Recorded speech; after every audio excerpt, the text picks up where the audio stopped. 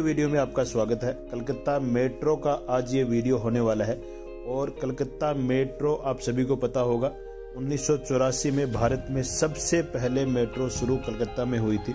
आज उसी मेट्रो का एक सफ़र हम करने वाले हैं और आपको उसके बारे में कुछ डिटेल भी मिलने वाली है। तो पूरा वीडियो देखें, आपको अच्छी जानकारी मिलेगी और उम्मीद करते हैं आपको वीडियो भी अच्छा लगेगा। यदि अच्छा लगता हो तो कमेंट करके ज़रूर बताएँ हमें। और यदि चैनल पे है तो सब्सक्राइब कर ले, बेल आइकन को ऑन कर दे, जिससे आने वाले वीडियो सबसे पहले आपके पास पहुँच सके। तो आइए वीडियो शुरू करते हैं।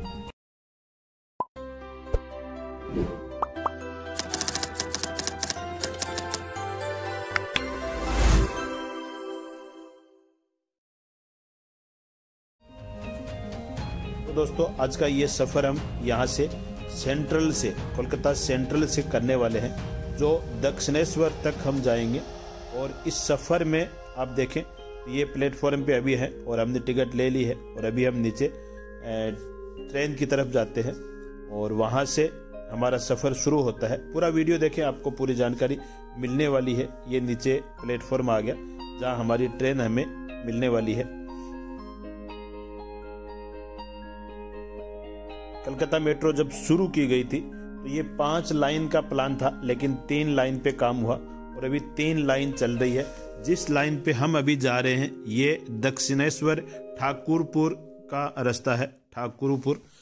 लेकिन हम यहाँ सेंट्रल से इसमें बैठने वाले हैं, जो दक्षिणेश्वर तक जाएँगे। और ये हमारी ट्रेन जिसमें हम अंदर आ गए हैं, दरवाज़ा इसका बंद हो गया है। और अभी ये यहाँ से रवाना हो चुकी है, ये देखिए आप।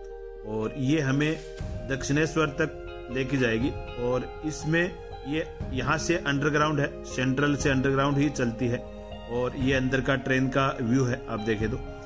काफ़ी भीड़ इसमें दिख रही है, काफ़ी लोग खड़े हुए हैं। तो ये यहाँ से हमारा सेंट्रल से रास्ता जो है, हमारा सफ़र शुरू हुआ है और ये रास्ता हमें दक्षिणेश्वर तक लेके जाएगा। ये एक और स्टेशन आ गया, इसको भी क्रॉस करते हुए आगे बढ़ेंगे। हर ट्रेन के अंदर जो कलकत्ता मेट्रो की जो ट्रेन चल रही हैं, उनमें हर ट्रेन के अंदर आठ कोच हैं, आठ डब्बों की ये ट्रेन होती है और 30 किलोमीटर प्रति घंटे के हिसाब से इसका औसत स्पीड है। वैसे इसकी ज़्यादा ज़्यादा स्पीड 55 किलोमीटर तक जा सकती है और ये ऑफ़िस टाइम में सात मिनट में आती है और दूसरे टाइम में 10 से 15 मिनट में हर स्टेशन पे ट्रेन पहुँच जाती है। हर ट्रेन की बात करें तो 2590 लोग एक ट्रेन में इसमें यात्रा लगभग कर सकते हैं। जिसमें हर कोच की बात करें तो 48 लोग बैठ सकते हैं, बैठने की सीट है और 278 खड़े हो सकते हैं हर कोच में। इस तरह से ये पूरा इसका हिसाब किताब है। और सेंट्रल से ये ट्रेन हमें, जैसे मैंने कहा, दक्षिणेश्वर तक लेके जाएगी। तो सेंट्रल से अगला स्टेशन महात्मा गांधी रोड, उसके बाद गिरीश पार्क शोभा बाज़ार, सुल्तान सुल्तान नुटी, श्याम श्याम बाज़ार, बेलगाछिया, दमदम, नोआपारा बड़ा नगर और दक्षिणेश्वर। इस तरह से ये पूरे स्टेशन इसमें आते हैं दक्षिणेश्वर तक। और किराए की बात करें तो इसमें पाँच किलोमीटर तक आपका चार रुपये लगता है और उसके बाद पाँच से दस किलोमीटर तक यदि आप जाना है तो छह रुपये है।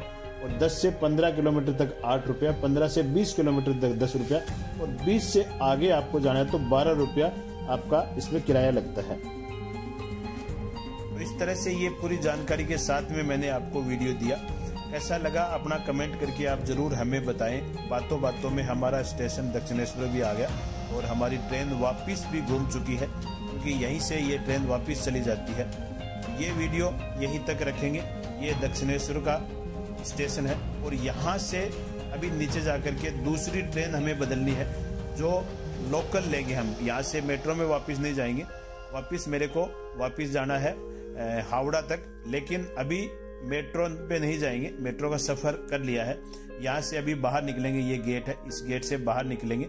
और इसी के बाजू में दक्षिणेश्वर से ही दूसरी ट्रेन जो लोकल चलती है लोकल जो ट्रेन है, उसमें हम जाने वाले हैं हावड़ा तक। जो आगे का वीडियो आपको हावड़ा का लोकल का मिलेगा, यहाँ जो लोकल जो ट्रेन चलती है तो उस वीडियो को आप ज़रूर देखें, जिससे आपको पूरे ट्रिप का, क्योंकि ये पूरा मैं जो ट्रिप कर रहा हूँ, पूरा कोस्टल भारत की यात्रा कर रहा हूँ, और ये सात हज़ार किलोमीटर का दो महीने का पूरा मेरा सफ़र है, जिसमें अभी कलकत्ता में है। कलकत्ता को एक्सप्लोर कर रहे हैं, कलकत्ता को देख रहे हैं, और उसके बाद अगला स्टेशन, अगला सिटी, और अगला स्टेट हम जाएँगे। पूरा वीडियो आप तक पहुँच सके। इसके लिए चैनल को सब्सक्राइब ज़रूर कर ले। अगले वीडियो में फिर मिलेंगे। तब तक आप अपना और अपनों का ध्यान रखें। जय हिंद, जय भारत।